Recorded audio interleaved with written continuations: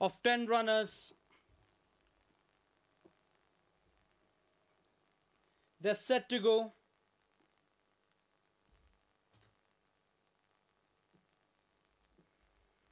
They're off for the Kabini Million. Jumping out smartly there was Square the Circle, just losing about a length at the start. It's Goldfield, just the leader from Trustbound on the outside, making progress is Havelock Cruz. Emelda comes in next, followed next in the field by Angelino on the inside, Priceless Gold on the outside.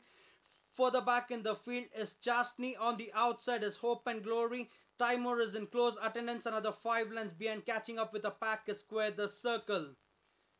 They're traveling towards the five furlong marker. It's Goldfield by three lengths to the better of Havelock Cruz. On the outside is Trustborn. Followed next in the field by Emelda. Priceless Gold comes in next for the back in the field is Chastney. On the outside is Angelino. For the back in the field is Timur. On the inside, on the outside is Hope and Glory, the length and a half behind is Square the Circle.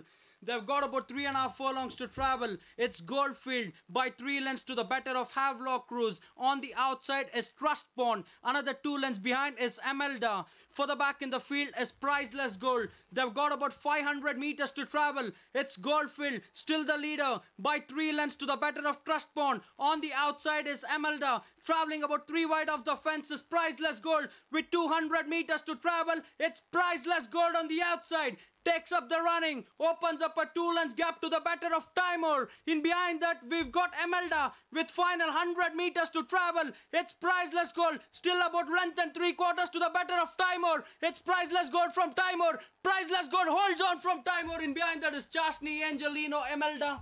Followed next in the field by Trustborn. Then